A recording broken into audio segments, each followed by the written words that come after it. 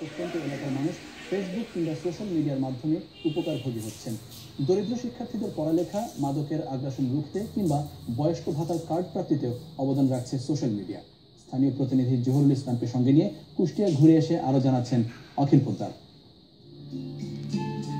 শেরপুরের ছেলে হাসিবুল হাসান, কুষ্টিয়া মেডিকেল কলেজে ভর্তির সুযোগ পেয়েও টাকার অভাবে পড়ালেখা করতে পারছিলেন না। এ খবর ফেসবুকে জানার পর তার মতো আরও কজনের খরচের ভার নেন কুষ্টিয়ার জেলা প্রশাসক সৈয়দ বেলাল হোসেন। জেলা প্রশাসক মহোদয় তো আমার জন্য একটা বৃত্তির ব্যবস্থা করেছেন। এখন আমি মোটামুটি সচ্ছল এবং ভালোভাবে পড়াশোনা করতে পারতেছি।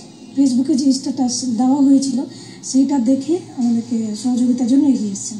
সোশ্যাল মিডিয়ার আড্ডার মাধ্যমে এমন অসংখ্য সমস্যার সমাধান করছে কুষ্টিয়া জেলা প্রশাসন।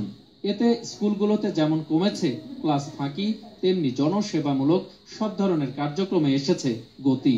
বিআরটি অফিস পাসপোর্ট অফিস ভূমি অফিস হেলথ মাদক এই সমস্ত অফিসগুলোকে নিয়ে সোশ্যাল মিডিয়া আড্ডা করতে যাচ্ছি। সেখানে আমাদের ইউজাররা যারা রয়েছে আমি আশা করছি দুই শতাধিক ইউজার এখানে উপস্থিত থাকবে।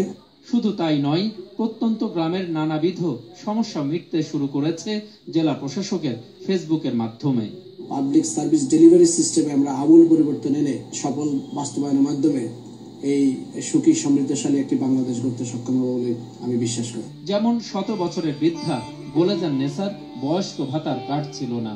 রোগে ভোগে অনেক কষ্টে দিন যাপন করছিলেন তিনি। বলে গোলেজানের কার্ড না থাকার বিষয়টি ফেসবুকের মাধ্যমে জানতে পেরে তাৎক্ষণিক ব্যবস্থা নেন জেলা প্রশাসক। ফেসবুক স্ট্যাটাস উনি জানতে পারার সাথে সাথেই উনি ইয়নোকে নির্দেশ দেন এবং চব্বিশ ঘণ্টার ভিতরে তার কার্ড প্রস্তুত করে নিয়ে এসে গোলেজান বিবির হাতে তিনি- তিনি তুলে দেন। আমরা খুব ঠেকার ভিতরে ছিলাম।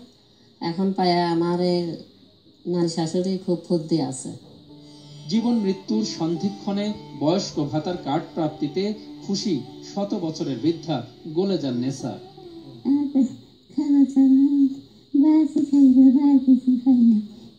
ডিজিটাল কুষ্টিয়া গড়ার লক্ষ্যে নিরবচ্ছিন্নভাবে স্থানীয় প্রশাসন যে কাজ করে যাচ্ছেন, তার সুফল পেতে শুরু করেছেন এই জেলার প্রত্যন্ত গ্রামের বিভিন্ন শ্রেণি পেশার সাধারণ মানুষ। যেমন ফেসবুকে তথ্য প্রাপ্তির পরপর কুষ্টিয়ার জেলা প্রশাসক একশো চার বছরের এই গোলেজান নেসার বৃদ্ধা ভাতার কাট করে দেওয়ায় আর অভাব যেমন ঘুচেছে, তেমনি আনন্দে আছেন এই এলাকার বিভিন্ন বয়সী মানুষ। অখিল পোদ্দার একুশে টেলিভিশন কল্যাণপুর কুমারখালী কুষ্টিয়া।